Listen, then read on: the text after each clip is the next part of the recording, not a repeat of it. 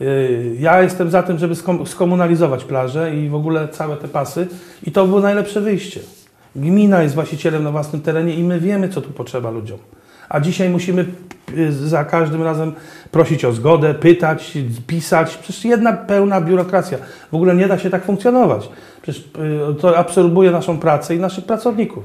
Samych dzierżaw, to już powiem, pół miliona wydajemy, a z dzierżaw mamy około y, 98 tysięcy złotych. No to jaka to jest logika w tym wszystkim?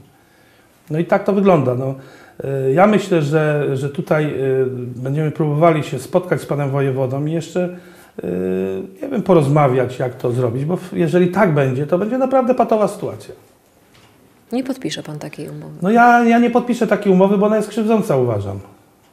I jeżeli ktoś myśli, że podstawi mnie pod ścianą, to ja będę ludziom tłumaczył po prostu, że, że nie, bo ja zrezygnuję z tych, z, tych, y, z tych pieniążków, ale zrobię na przykład już nie 9 czy 8 punktów rato, y, y, tych dla ratowników, tylko zrobię dwa. Jedno w Sianorzętach, jedno w Ustroniu. Reszta będzie po prostu niestrzeżona plaża i będzie brudna, bo ja nie będę miał prawa nawet dostępu, żeby to sprzątać. Bo, bo na jakiej zasadzie? Więc tak to będzie wyglądało. Wszystko spłynie na, na skarb państwa i na pana starostę, który będzie tym musiał zarządzać. Nie ma innego wyjścia. Albo, albo Urząd Morski będzie to sprzątał.